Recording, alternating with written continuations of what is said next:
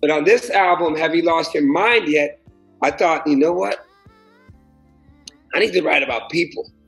I need to stop being scared and stop, you know, writing about these big topics, which is great. And it's a little bit easy, but what about the people that I know?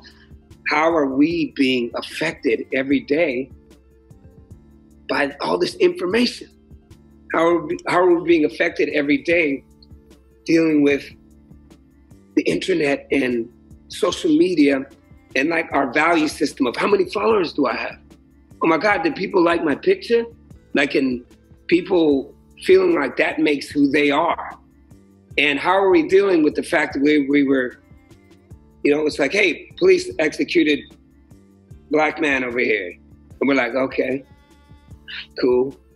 Yeah, Black Lives Matter, yeah, cool, yeah. Or how are we dealing with with um a shooting in Texas, 25 people. We're like, oh really? Just my coffee, okay. 25 people dead, I get it. How are we dealing with human beings being caged at the at the border.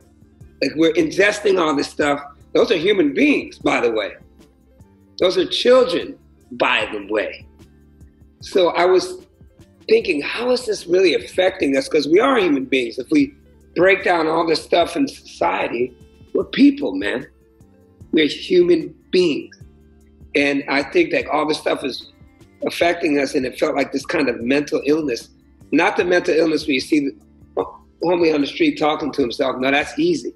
I'm talking about this mental illness of apathy, of, of accepting these conditions that are that are, are smashed and forced upon us every day we get on.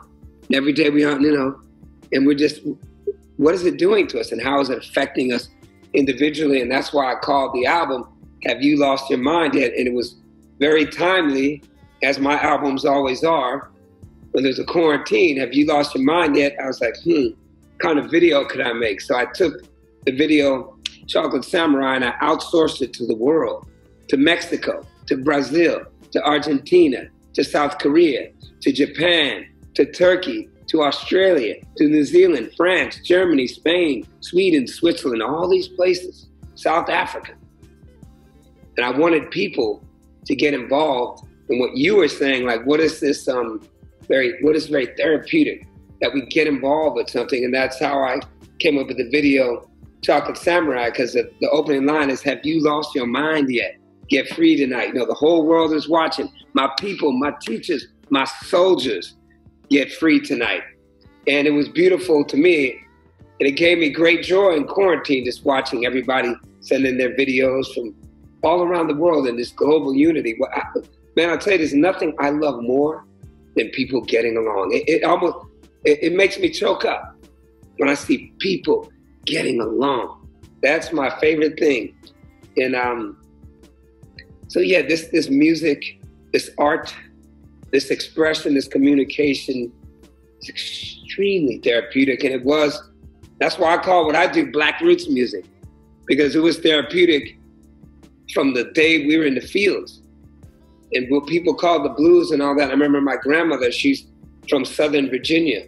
And she was always like, honey, white people thought we were sad. We weren't sad. I was like, that was therapy. We're singing those hymns, singing those spirituals out there under the blazing sun. Our children being ripped away from us, sold, you know, and then knock on the door and somebody comes and takes your woman for the night you know, families being deconstructed.